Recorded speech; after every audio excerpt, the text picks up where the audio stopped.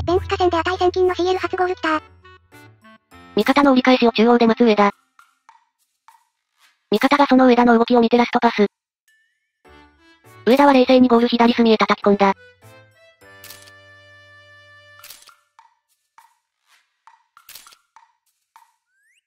上田綾瀬の CL 初ゴール、これで上田綾瀬に対する批判は一段落するかな。綾瀬素晴らしい。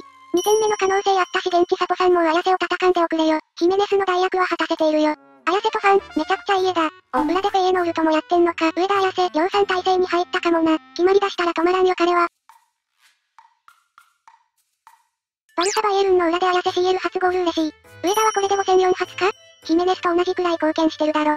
上田綾瀬素晴らしすぎる。数字で結果残すことがでかすぎる。起用されたらしっかり結果を出す上田綾瀬かっこいいぞ。鹿島アントラーズに所属歴の日本人選手が CL で得点を決めるのは内田篤人以来2人目かな。上田綾瀬、おめでとう。